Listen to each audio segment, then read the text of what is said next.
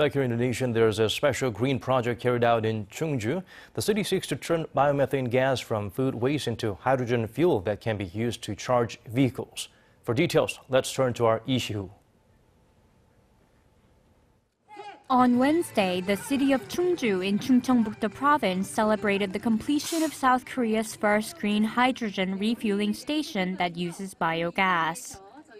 Chungcheongbuk-do province and the city of Chungju, as well as the Institute for Advanced Engineering, took part in the project that took around three years to complete.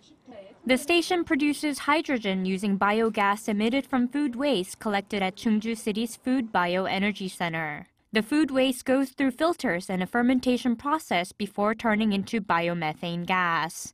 It is then mixed with water and hydrogen is extracted from the mixture.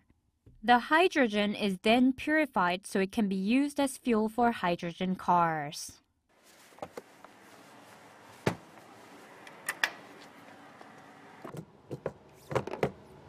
This project allows around 500 kilograms of hydrogen to be produced per day at a station for the first time in Korea. That's enough hydrogen to fill about 100 hydrogen vehicles. Seawater, wind, and solar energy found in coastal and offshore environments are used to produce hydrogen. But as Chungcheongbuk-do is a landlocked province, it's difficult for petrochemical complexes or LNG supply bases to be built. Previously, natural gas-based hydrogen had to be produced in places like Daesan, Yeosu, or Ulsan and was transported to Chungju, which was expensive.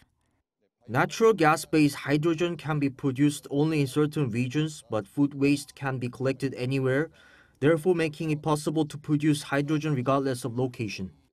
The station will serve as what's called a mother station that will charge both hydrogen cars and tube trailers that can carry hydrogen fuel to other charging stations. It's about 27% cheaper to create hydrogen from biogas compared to creating it from natural gas. We hope that our method of extracting hydrogen serves as a model for similar projects around the country. We also hope that the citizens can drive hydrogen cars at a lesser cost. The fact that the price of hydrogen is not affected by international oil prices will enable stable supply and demand and without price fluctuations.